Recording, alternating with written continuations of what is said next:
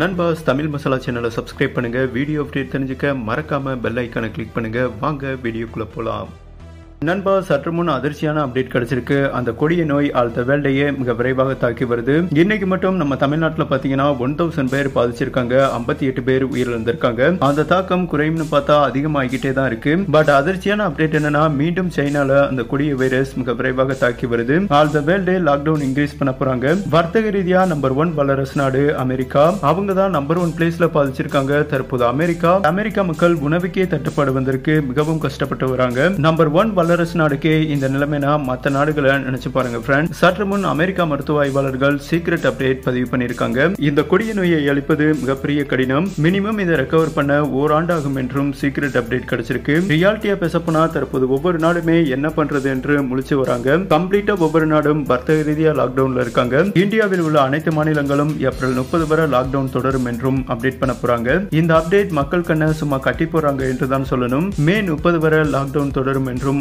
அதிர்ச்சியான அப்டேட் கிடைச்சிருக்கு. இந்த கொடிய நோயை விட கீழ்த்தட்டு மக்கள் பசிலேயே இறக்க போறாங்க என்றுதான் சொல்லணும். இந்த இக்கட்டான சூழலை மேனேஜ் பண்ண தமிழக அரசு ஒரு முக்கியமான முடிவு எடுத்திருக்காங்க. ரேஷன் கார்டு இருக்கும் மக்கள் ஐநூறு ரூபாய் ரேஷன் கடையில கொடுத்தா பதினெட்டு வகையான மளிகை பொருள் வாங்கிக் கொள்ளலாம் என்றும் ஒரு குட் நியூஸ் கிடைச்சிருக்கு. ஆனால் லாக்டவுன் தொடரப்போது மக்கள் யாருமே வேலைக்கு போகல. ஐநூறு ரூபாய் கொடுக்க முடியுமா என்பதே கஷ்டம்தான். செலிபிரிட்டி கிரிக்கெட் பிளேயர்கள் எவ்வளவோ டொனேட் பண்ணி வராங்க. அந்த காசை வச்சு மக்கள் கிட்ட ஐநூறு ரூபாய் வாங்காமல் ஃப்ரீயா மளிகை பொருள் டொனேட் பண்ண வேண்டும். இந்த சட்டம் கொண்டு வந்தாதான் மீடியமான மக்கள் ஓரளவுக்கு அது மேனேஜ் பண்ண முடியும். சரி நீங்க சொல்லுங்க நண்பாஸ் இந்த தொடர் லாக்டவுனை பற்றி நீங்க என்ன நினைக்கிறீங்க? மக்களால் சமாளிக்க முடியுமா? உங்க ஆப்ஷனை கமெண்ட் பண்ணுங்க. நன்றி ஃப்ரெண்ட்ஸ்